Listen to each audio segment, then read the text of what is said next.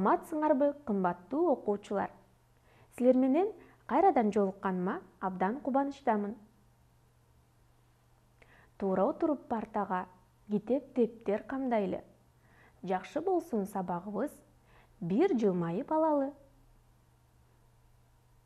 кана балдар окуу куралдарыңарды камдап алган болсоңор бүгүнкү математика сабагыбызды баштайбыз эле сабак балдар экрандан кайсы цифраларды көрүп турасыңар? Ооба төрт жана жети цифралары турат. Балдар төрт санын экиге чоңойтсок канча болот?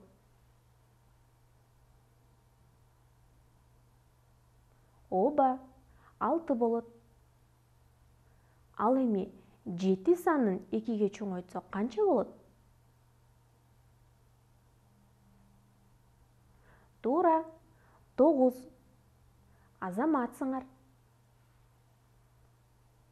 Балдар экранга көңүл бургула. Болот бешинчи катардагы үйдүн сүрөтүн тартуусу керек. Анда ал кайсы түстөгү үйдүн сүрөтүн тартат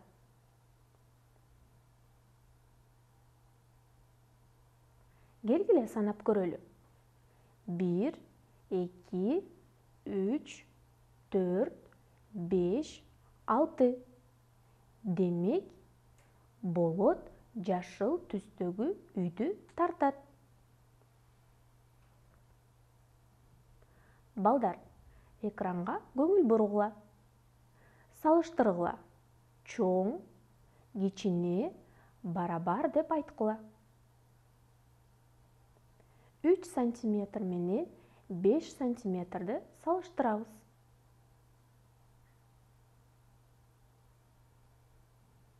тура 5 сантиметр ұзын 3 сантиметрден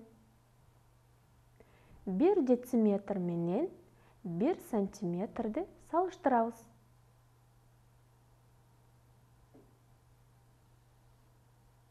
тура 1 дециметр ұзын 1 сантиметрден 9 сантиметр менен 6 сантиметрді салыштырауыз. оба! 9 сантиметр ұзын 6 сантиметрден. Азаматсыңар! Балдар экрандан эмнени көрүп турасыңар туура узундугу алты сантиметр болгон кесинди эгерде кесиндини эки сантиметрге узартсак канча сантиметр узундуктагы кесинди пайда болот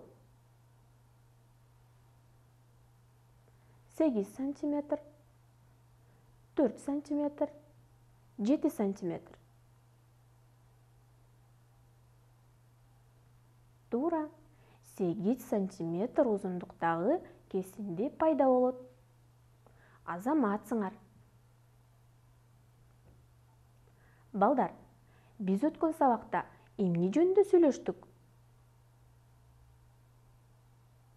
туура кесинди түз сызык ийри сызык туюк сызыктар менен таанышып аларды ченөөнү үйрөнгөнсүңөр бүгүнкү сабактын темасы ченөөнү бышыктоо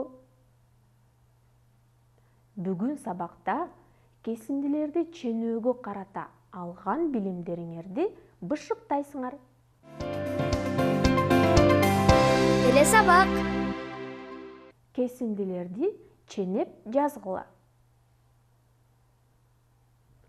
биринчи кесиндинин узундугу канча сантиметр экен оба 8 сантиметр. Екінші кесіндені байқағыла. Қанша сантиметр екен?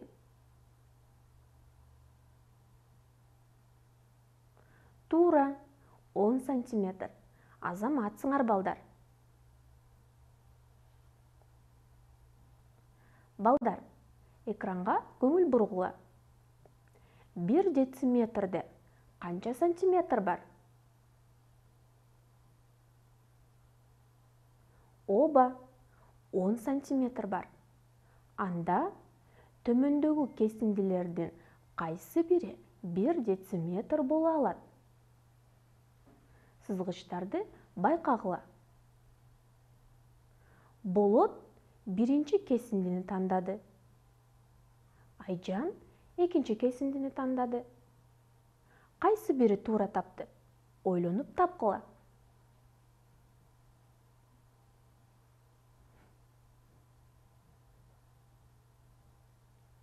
Биринчи кесиндиге байкоо жүргүзөлү. Болот эмнени байкаган эмес? Туура биринчи кесиндиде ченөө нөлдөн башталган жок. Ошондуктан ал бир дециметр боло албайт айжан туура тапкан. Экинчи кесинди бир дециметр боло алат эми балдар. Кесиндилерди салыштырууга карата тапшырма аткаралы бизге эки кесинди берилди биз бул кесиндилерди ченеп салыштырабыз анда сызгыч менен биринчи кесиндини ченейли биринчи кесиндинин узундугу сегиз сантиметр экен эми экинчи кесиндини ченейбиз экинчи кесиндинин узундугу беш сантиметр экен эми эки кесиндинин узундугун салыштырабыз сегиз сантиметр чоң беш сантиметрден табакта беш анар болгон. Анын экөөсүн балдар жешти. Табакта канча анар калды? Балдар ойлонуп жообун таап көргүлөчү.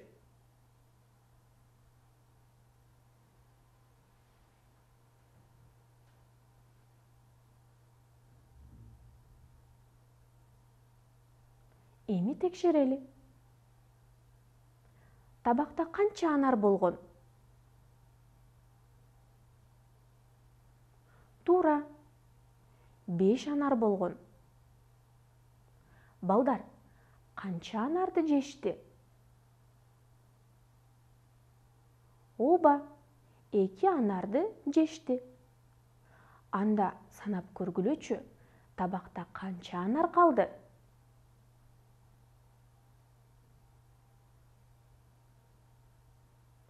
туура балдар. Табакта үч анар калды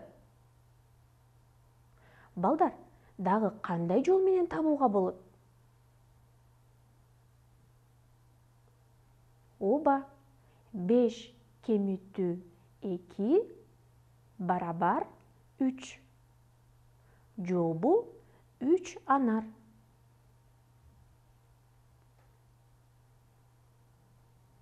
Балдар сүрөткө карата туюнтмаларды жазгыла.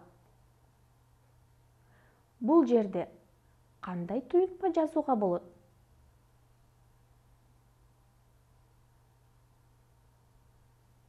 Ооба алты кемитүү төрт барабар эки.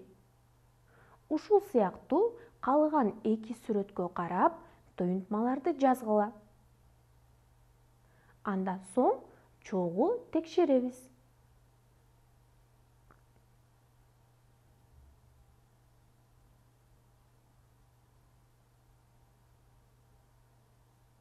эми текшерели төрт кемитүү эки барабар эки төрт кемитүү үч барабар бир балдар силер да туура таба алдыңар деп ойлойм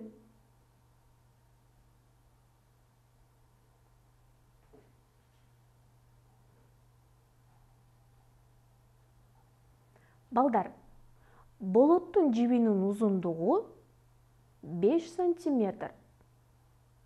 Айжандын жибинин узундугу 4 сантиметр болсо экөөнүн жиптеринин жалпы узундугу канча сантиметр болоорун тапкыла. Андан соң чогуу текшеребиз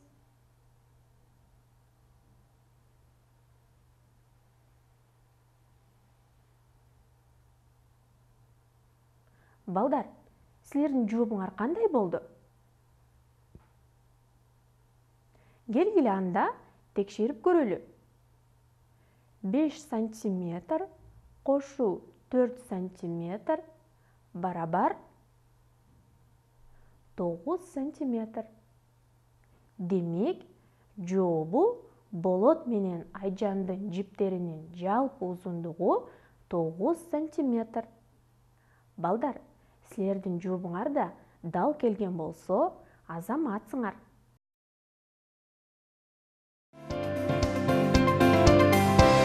Сабак.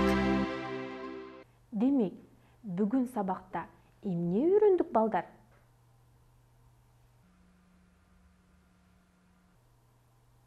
Ооба кесиндинин узундугун сызгыч менен ченеп жазууну узундуктарды салыштырууну